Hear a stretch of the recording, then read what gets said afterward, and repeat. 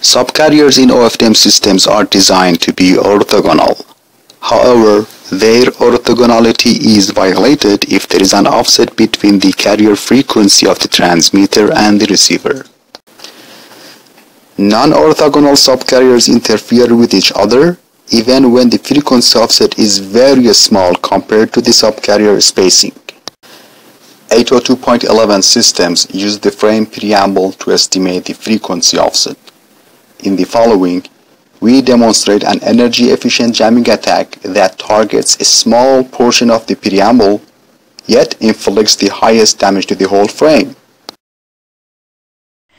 In this demo, we first use two USRPs, one as the transmitter and one as the receiver, to experimentally transmit a sequence of packets that belong to an image.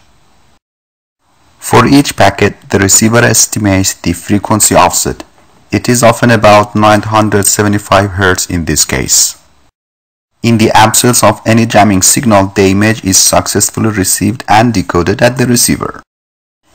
Now we add our reactive jammer which is controlled by a laptop to this scene. The attacker optimizes its own frequency offset with respect to, to the receiver so as to inflict the highest possible damage using minimum jamming power.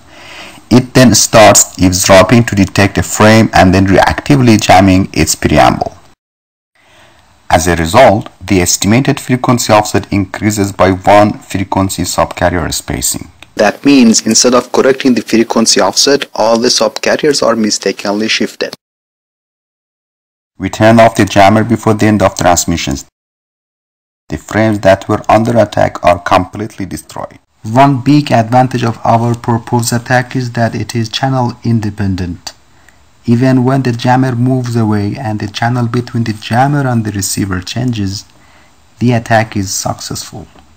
As long as the signal to jamming power ratio is less than 1.5 dB, which basically means that the jamming power can be even less than the signal power, a successful attack is still possible.